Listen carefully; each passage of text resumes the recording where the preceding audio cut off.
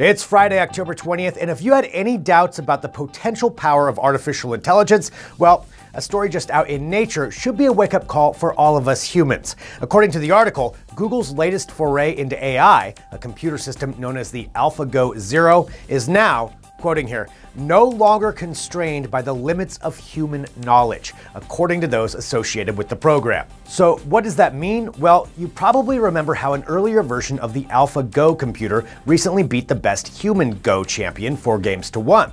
Go is a 3,000 year old Chinese board game considered to be the most complex game known as far as possible positions that can be played. It's much more complex and random than chess. Scientists figured it would be another 10 years before an AI computer could beat a human player.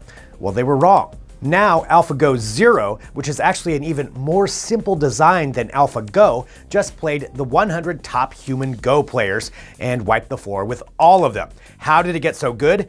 The original AlphaGo computer learned to play from studying how humans played the game, but AlphaGo Zero used a new scheme called reinforcement learning. Researchers told the computer what the rules of the game were and made winning a reward by earning a point. The computer then played against itself, completely skipping the human competition slash learning step. The result, complete mastery of the game in just two days. But in that time, AlphaGo Zero played millions of matches against itself, learning what moves worked, and according to the Google team, teaching itself moves and strategy no human has used before, thus the 100 to zip thrashing of the human players it encountered afterwards. Worried yet? Fascinated? Both? It's a landmark achievement for AI to be sure and could point a way forward for, of course, better, faster, and very much smarter AI systems that we'll all be working with in the future. We've got a few links related to this very interesting and somewhat scary development in artificial intelligence programming, so check them out to get the whole story and go. Speaking of AI, smart home hubs are popping up like mushrooms after a rainstorm, but the latest entry has our attention. It's the Invoke by audio icon Harman Kardon, and Alexa isn't living inside of it. This time, Microsoft's Cortana assistant is at your beck and call. The tapered cylinder comes in two finishes and packs some punchy audio performance, putting it in the running against our current audio quality winner, the new Sonos One that features Alexa integration. While the choice of Cortana as the Invoke's AI agent somewhat limits your music choices and some other options, that will probably get worked out down the line as Microsoft pushes more products into the smart home space. Cortana does give the Invoke integration across Windows PCs and some mobile devices, and it will also perform hands-free Skype calls, so bonus points there. We've got a full review of this latest home hub at the link.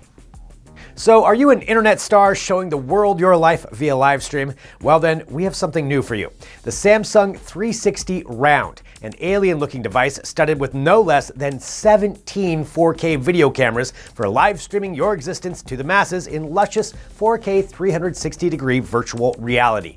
The 360 Round also features six spatial audio microphones with inputs for two more, 40 gigs of expandable internal memory, and much more. The 360 round is about 8 inches across and it's even water and dust resistant for those special times when you venture outside your purpose-built VR sphere in the basement. Price? Not set yet, but a couple leaks indicate it should be about 10 grand when it gets released later this month. Seeing how VR and VR content is expected to be a $200 billion industry in just a few years, we'd call that a bargain. Hey, better get two just to be safe. That's it for DT Daily today. Be sure to check out all the latest tech news at digitaltrends.com. And of course, visit our Facebook page and YouTube channel. And all of our podcasts are on iTunes, so download some to listen to. Thanks for watching. We'll see you next week.